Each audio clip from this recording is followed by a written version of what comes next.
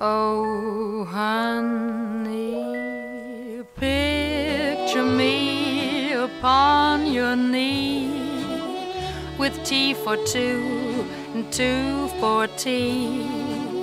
Just me for you and you for me alone. Nobody near us to see us or hear us, no friends